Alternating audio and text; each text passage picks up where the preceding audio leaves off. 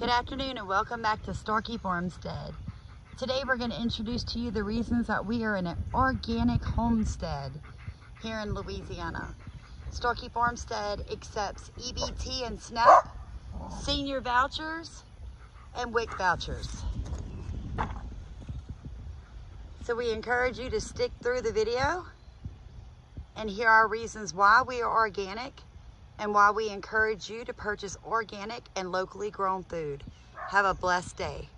The foliar sprays really help. Your plants absorb a tremendous amount of nutrients through their leaves. I mean, think of it like your skin. This is their skin. So they can absorb through this. So you have to be really careful and you have to really think through what am I putting on my plants? Because whatever this plant absorbs, that is what is going to show up in the food that you eat. Okay? It just makes sense. If your skin absorbs something, if your lungs absorb something, that shows up in your bloodstream, right?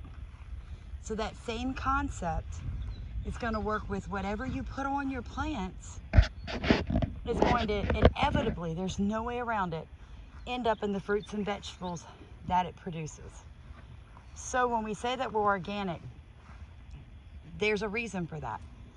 When you think of things like pesticide, fungicide, herbicide, it has an ICIDE in it. Look up what that means. It means to kill.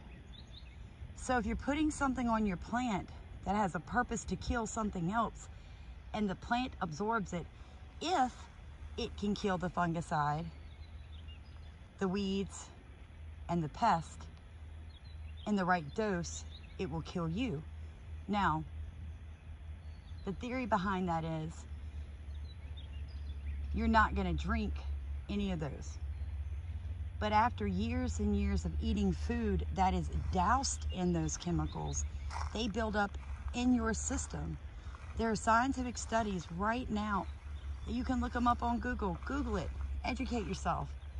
That in utero, in a mother's body, the amniotic fluid around her baby, there has been known when they have drawn that amniotic fluid in women in America to have up to 26 pesticides inside of the amniotic that her baby, amniotic fluid that her baby is growing in.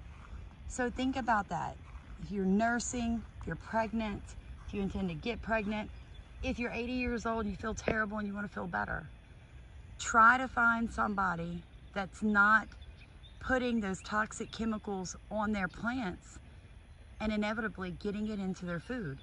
And it doesn't have to cost you an arm and a leg. It honestly doesn't.